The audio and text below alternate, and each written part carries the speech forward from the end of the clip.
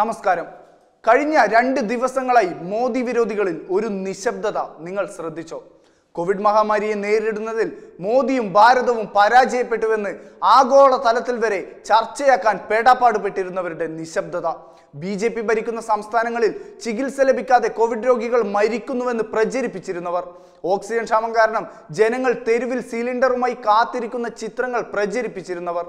കേരളത്തിലടക്കം vaccine ക്ഷാമമുണ്ടെന്ന് പ്രചരിപ്പിച്ചവർ. സൗജന്യമായി ലഭിക്കുന്ന വാക്സിന് കേന്ദ്ര സർക്കാർ പണം ഈടാക്കുന്നുണ്ടെന്ന് പ്രചരിപ്പിച്ചവർ. തങ്ങളുടെ കുട്ടികൾക്ക് ലഭിക്കേണ്ട വാക്സിൻ അന്യരാജ്യങ്ങൾക്ക് നൽകിയെന്ന് രോധിച്ചവർ. ഗംഗാ നദിയിൽ മൃതശരീരങ്ങൾ ഒഴുകി നടക്കുന്നുണ്ടെന്ന് മുതല കണ്ണീരൊഴുക്കിയവർ ആ ചിത്രങ്ങൾ പ്രചരിപ്പിച്ച കോൺഗ്രസ് കമ്മ്യൂണിസ്റ്റ് നേതാക്കൾ അവരുടെ കുഴലൂത്തുകാരായ മാധ്യമങ്ങൾ അന്താരാഷ്ട്ര മാഗസിന് മുകളിൽ ഇന്ത്യയുടെ ദുരവസ്ഥയുടെ കഥകൾ കണ്ട് പരിതപിച്ചവർ. ഇവരെല്ലാം പെട്ടെന്ന് നിശബ്ദരായത് നിങ്ങൾ ശ്രദ്ധിച്ചോ?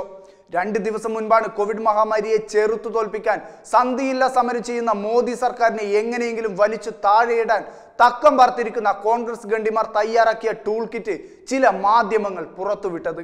ഒരു രാജ്യം ഒറ്റക്കെട്ടായി അതിന്റെ ശത്രുവിനെ നേരിടേണ്ട സന്ദർഭത്തിൽ അധികാര കൊതിമൂത്ത നാറിയ തരം പണിയാണ് ഇന്ത്യയിൽ സോണിയയും കൂട്ടരും ചെയ്തത്.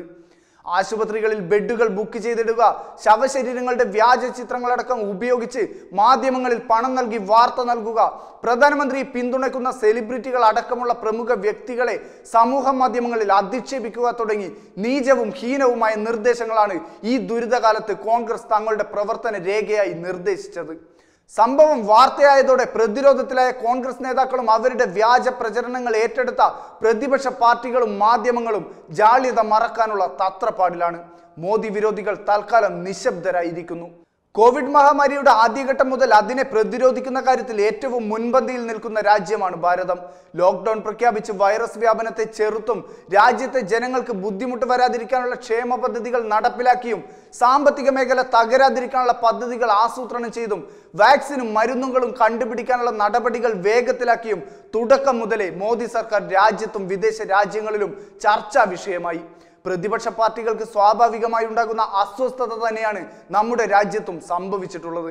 പക്ഷെ അത് പ്രകടിപ്പിക്കാൻ ഉപയോഗിച്ച രീതികൾ വളരെ തരം താഴ്ന്നതായി എന്ന് മാത്രം.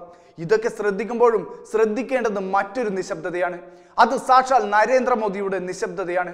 കഴിഞ്ഞ ഏഴു വർഷങ്ങളിലും രാജ്യത്തെ ശിഥിലമാക്കാൻ ശ്രമിക്കുന്ന ദുഷ്ടശക്തികൾക്കെതിരെ വാക്കുകൊണ്ടല്ല തന്റെ പ്രവൃത്തി കൊണ്ടാണ് അദ്ദേഹം മറുപടി നൽകിയിരുന്നത്. നോട്ട് പിൻവലിച്ച സമയത്ത് ജനങ്ങൾ വെയിലത്ത് ക്യൂ നിൽക്കവേ തളർന്നു വീണു മരണപ്പെട്ടു എന്ന വ്യാജ വാർത്തകൾ പ്രചരിച്ചിരുന്നു. ബീഫിന്റെ പേരിലുള്ള കൊലപാതകങ്ങൾ എന്ന വാർത്തകളിലൂടെ വർഗീയത വളർത്താനുള്ള ശ്രമം നാം കണ്ടതാണ്.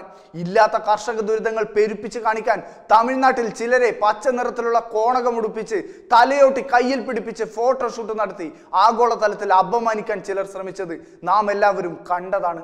പൗരത്വ നിയമ ഭേദഗതിയുടെ പേരിൽ രാജ്യത്തെ മുസ്ലിങ്ങളെ തെറ്റിദ്ധരിപ്പിച്ച് തെരുവിലിറക്കി കലാപത്തിന് ശ്രമിച്ചതും നമ്മൾ കണ്ടു.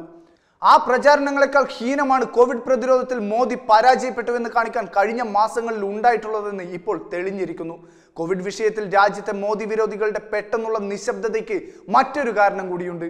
സംസ്ഥാനങ്ങളിലേക്ക് കേന്ദ്ര സർക്കാർ നൽകിയിട്ടുള്ള വെന്റിലേറ്ററുകളുടെയും ഓക്സിജൻ കോൺസെൻട്രേറ്ററുകളുടെയും ഓഡിറ്റ് നടത്താൻ കേന്ദ്ര സർക്കാർ തീരുമാനിച്ചിരിക്കുന്നു. അതോടൊപ്പം ഓരോ സംസ്ഥാനത്തിനും സൗജന്യമായി നൽകിയ കോവിഡ് വാക്സിന്റെ കണക്കുകളും മോദി സർക്കാർ പ്രസിദ്ധീകരിച്ചു. അതോടെ ഡൽഹിയിലെ കെജ്രിവാൾ മുതൽ കേരളത്തിലെ പിണറായി വിജയൻ വരെയും സോണിയ മുതൽ ഉമ്മൻചാണ്ടി വരെയുമുള്ള മോദി വിരോധികൾ നിശബ്ദരായിരിക്കുന്നു.